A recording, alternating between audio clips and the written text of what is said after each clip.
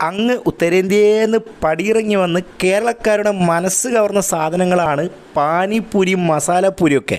അവരുടെയൊക്കെ ഒരു അന്യനെ കൂടി നമുക്കിന്നൊന്ന് പരിചയപ്പെടാം. ഷേപ്പൂരി. ഇതെവിടുന്ന കഴിച്ചതെന്ന് വെച്ച് കഴിഞ്ഞാൽ വടകര പുതിയ സ്റ്റാൻഡിലുള്ള ഡേമാർട്ടിന്റെ നേരെ മുമ്പിലായിട്ടുള്ള നമ്മുടെ ബായിയുടെ കടയിൽ നിന്നാണ് നമ്മളിത് കഴിച്ചത് കേട്ടോ ഷോപ്പൊക്കെ കാണാൻ അത്യാവശ്യം നല്ല വൃത്തിയുണ്ട് കേട്ടോ എന്നാൽ പിന്നെ ആദ്യത്തെ എങ്ങനെയാണ് പൂരി ഉണ്ടാക്കുന്നതെന്ന് നോക്കാം. ആറ് ഏഴ് പൂരി പ്ലേറ്റിലോട്ടേക്ക് ഇട്ടിട്ട് അതിലേക്ക് സ്പൈസി ആയിട്ടുള്ള സോസ് അങ്ങോട്ട് ഏഡ് ചെയ്യും.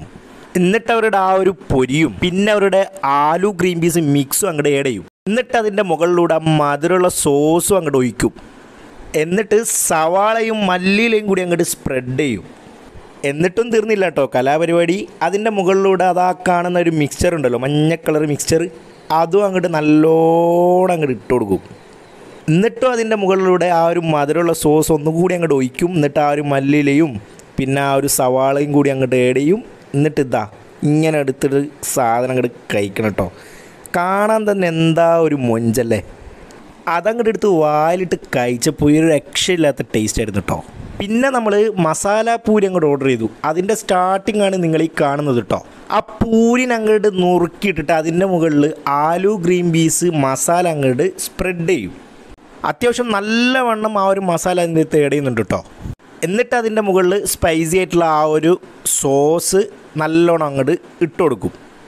പിന്നെ എനിക്ക് ഏറ്റവും ഇഷ്ടമുള്ളൊരു സാധനമാണ് ഈ ഒരു മധുരമുള്ള സോസ് അതങ്ങോട്ട് ഏഡ് ചെയ്യും. അത് നമ്മളെ ഇഷ്ടാനുസരണം കൂട്ടുകയും കുറക്കുകയൊക്കെ ചെയ്യാം കേട്ടോ പിന്നെ അവരുടെ രണ്ട് മൂന്ന് ടൈപ്പ് മസാലപ്പൊടികൾ അതിലോട്ടൊക്കെ ഏഡ് ചെയ്യുന്നുണ്ട്. എന്നിട്ട് കയ്യിൽ കിട്ടുന്നതിൽ കൂടുതൽ പൊരി ഓരോരോ പ്ലേറ്റിലേക്ക് മൂപ്പര് ഇട്ട് കൊടുക്കുന്നുണ്ട്. എന്നിട്ട് അതിലേക്ക് ആലു ഗ്രീൻ പീസ് മിക്സ് കുറച്ചുകൂടി അങ്ങോട്ട് ഇട്ട് കൊടുക്കും എന്നിട്ട് ആ മധുരമുള്ള സോസ് ഒന്നുകൂടി അങ്ങോട്ട് ഒഴിക്കും. എന്ത് മൊഞ്ചല്ലേ ഇത് മേക്ക് ചെയ്യുന്നത് കാണാൻ? എന്നിട്ട് ഇതിന്റെ മുകളിൽ സവാളയും മല്ലിയിലയും അങ്ങോട്ട് സ്പ്രെഡ് ചെയ്യും.